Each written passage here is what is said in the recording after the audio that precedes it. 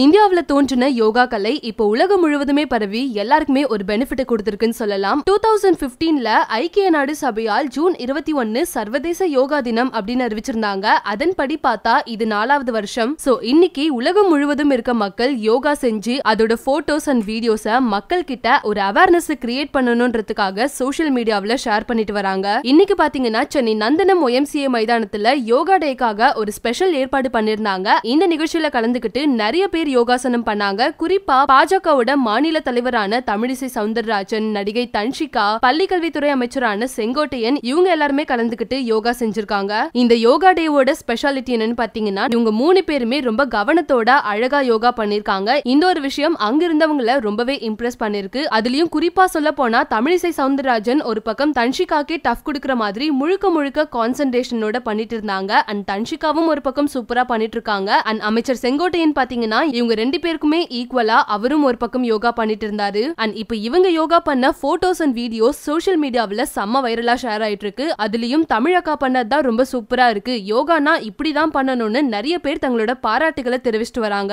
இதுக்கப்புறம் பேட்டியளிச்ச தமிழிசை சவுந்தரராஜன் என்ன சொல்லிருக்காங்கன்னா ஜூன் இருபத்தி ஒன்னு சர்வதேச யோகா தினமா அறிவிச்சதுக்கு பிரதமர் மோடி அவர்களுக்கு நன்றி தெரிவிச்சிருக்காங்க. அண்ட் அமைச்சர் செங்கோட்டையன் இனிமே எல்லா ஸ்கூல்லுமே யோகா கண்டிப்பா சொல்லி தரப்படும் இதுக்காக ஸ்பெஷலா பதிமூன்றாயிரம் டீச்சர்ஸை நியமிக்க போறதா சொல்லியிருக்காரு.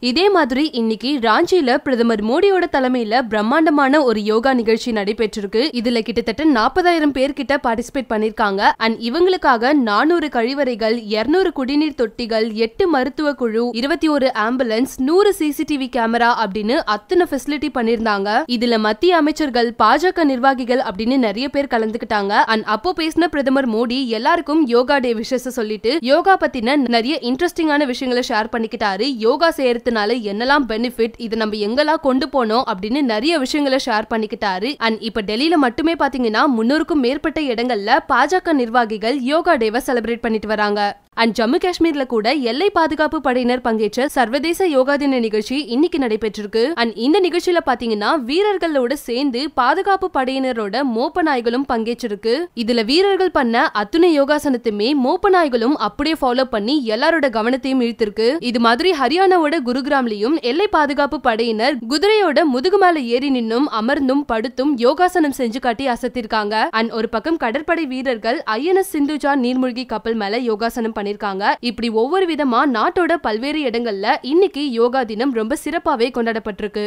எடப்பாடியா ஓ பன்னீர்செல்வமா ஒரு நமக்கு ஒரு தலைமை வேணும் அப்படின்னு நினைக்கிறதாக எல்லாரும் நினச்சிட்டு இருக்காங்க. அதெல்லாம் அதல்ல ஒற்ற தலைமை. மோடியா அமித்ஷாவா? இந்த ரெண்டு சொல்கிறது நாங்கள் கேட்டுட்டு இருக்க முடியாது. யாராவது ஒற்ற தலைமை இருக்கட்டும். யாராவது ஒருத்தர் வழியாக எங்களுக்கு செய்து வரட்டும். ஒரே குழப்பமாக இருக்குது அப்படின்றது தான் இப்போ அவங்க கேட்குற ஒற்ற தலைமை.